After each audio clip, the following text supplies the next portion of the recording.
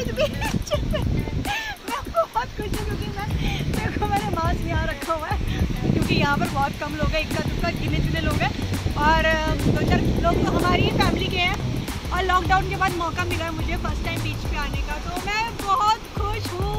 मैं बहुत हैप्पी हूँ यहाँ आके। तो पहले हम गए थे मुंबई से M to M ferry ferry से अलीबाग अलीबाग से काशी बीच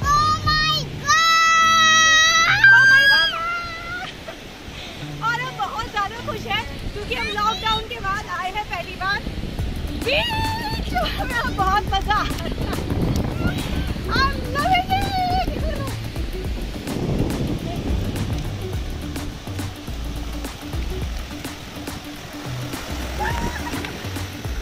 तो एंजॉय करो मेरा व्लॉग और मेरे साथ एंजॉय करो काशी बीच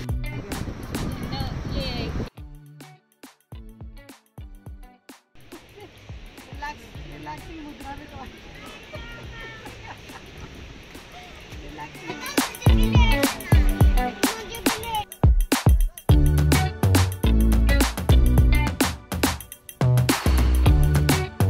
Oh my god, how are you guys feeling?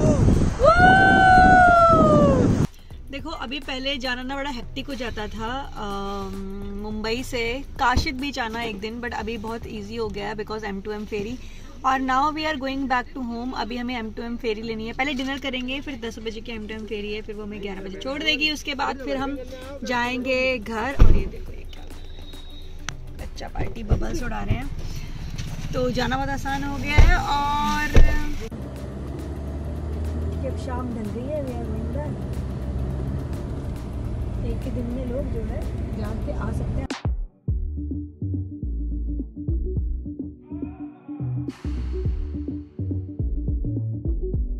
तो बच्चों के साथ बहुत अच्छा आपको रात को स्टे करने की ज़रूरत नहीं है। अभी देखो कैसे दिन ढल रहा है, बहुत अच्छा लग रहा है।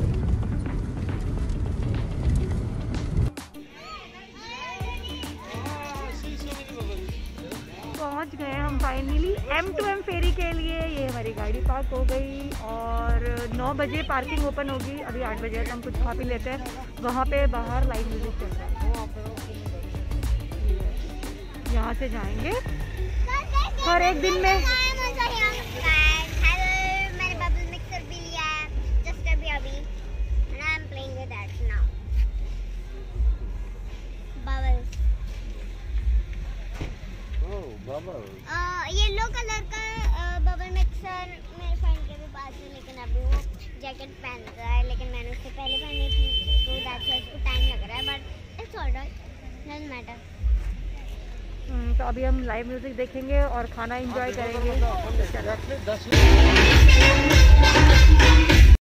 यहाँ पे शुरू होने वाला था लाइव म्यूज़िक उससे पहले ये म्यूज़िक बज रहा था और कॉपीराइट की वजह से मैंने इसको हटा दिया। We are searching for good restaurant और यहाँ जितनी भी पूरी लेन है यहाँ सब जगह रेस्टोरेंट्स हैं। तो जिसमें भी आपको बैठना है जिसमें भी आपको कंफर्टेबल लगे आप बैठ सकते हो।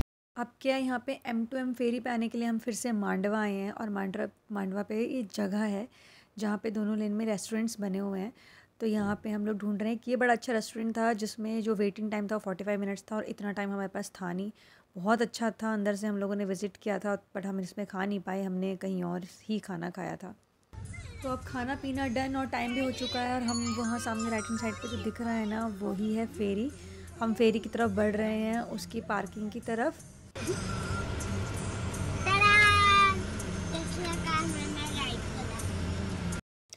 और ये हम एंटर कर रहे हैं फेरी में। स्ट्रेट आप देखेंगे हम लोगों ने फेरी में एंटर किया है और सामने ही हमें अपनी गाड़ी को पार्क करना है। और उसके बाद हम बहुत थक गए थे, मैं व्लॉग को यहीं एंड करती हूँ। हम एक घंटे में पहुँच गए थे। रात को हम अंदर बैठे थे बिकॉज़ बाहर बहुत ठंडी हवा थी बच्चों के हिसाब से। तो अंदर वाली जगह बहुत अच्छी है और थोड़े सोफ़े भी हैं स्पेशियस भी है। बहुत ही इन्जॉय किया हम लोगों ने यहाँ पे जा सकते हैं अपने बच्चे के साथ। एक ही दिन में आप लोग आराम से जाके वापस आ सकते हैं। Thanks for watching bye bye enjoy